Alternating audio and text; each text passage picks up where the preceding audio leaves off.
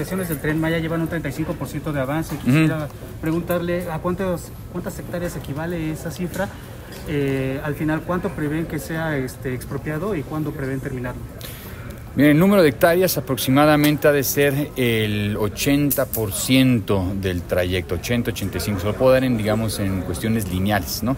Si estamos hablando de más de 1.500, 1.600 kilómetros lineales de trayectoria, prácticamente estamos hablando del 85% de esos kilómetros. No podemos hablar de hectáreas porque van cambiando los, digamos, los diámetros que se requieren. También tenemos, digamos, expropiaciones no solamente para el tema del tren, sino para temas de CFE. Digamos, tenemos que tener subestaciones locales, tenemos que tener patios de maniobra. Entonces, pero quédese con el dato de que es el 85% aproximadamente de lo que es todo lo que sería el tramo, aproximadamente estos más de 1.500, 1.600 kilómetros lineales. Y también preguntarle en cuanto a las indemnizaciones, ahí no hay, porque algunos pues no pareciera... Todos los procesos de expropiación tienen indemnización.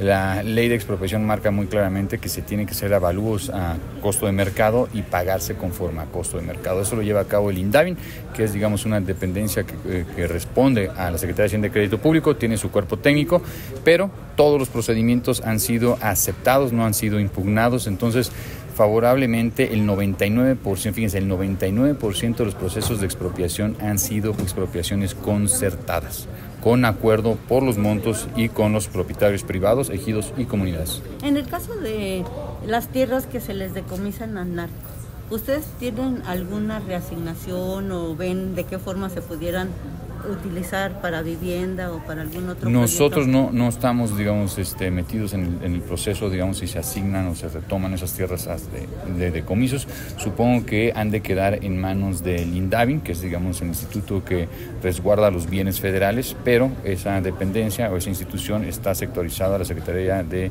Hacienda y Crédito Público. Entonces, ustedes no tienen Nosotros no estamos, no, nosotros no estamos. Para la implementación de los programas que hacen falta todavía y se acaban de aprobar todavía, le reprochaban los, diputados, algunos diputados que faltaban recursos y para el próximo año se prevé un recorte de alrededor de 2 mil millones de pesos. ¿Esto va a afectar? No, el recorte prácticamente lo que habíamos comentado con los diputados recae en el hecho de que no estamos arrancando obras nuevas, que la encomienda del presidente no es hacer obra por hacer obra, sino asegurar que esos equipamientos, una escuela, una preparatoria, una clínica de salud esté operando. Ese es, digamos, el elemento central. Eh, destinamos la mayor parte de nuestro tiempo en relación a ese programa, el programa de mejoramiento urbano, a darle continuidad a la operación y mantenimiento entonces la responsabilidad no es, digamos, hacer la obra, es, digamos, es una vía, pero lo que más nos importa a nosotros es que estén operando. Y eso requiere, digamos, presupuesto, presión política a los municipios y a los estados para, eh, conforme a las evaluaciones que hacemos cada dos meses, eso quiere decir cada estos mil equipamientos, cada dos meses vamos hacemos una evaluación, un registro fotográfico, encuestas, entrevistas y hacemos eh, una evaluación que compartimos con los gobiernos municipales y estatales para que tengan mejoras.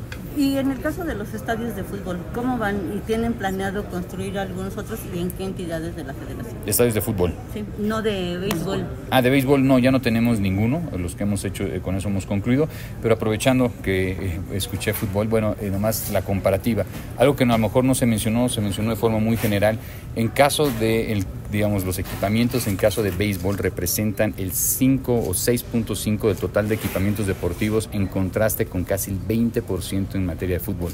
Yo sé que se hace siempre mención al tema del béisbol por obvias razones, pero nadie nos critica en relación a que en campos de fútbol tenemos cuatro veces más que en campos de béisbol.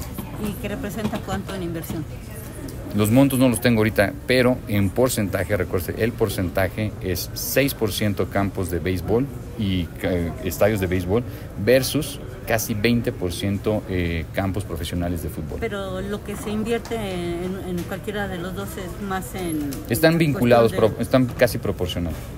¿No tiene más el fútbol? No, sí tiene más, sí tiene más recursos el fútbol por el volumen. Muchas gracias, compañeros.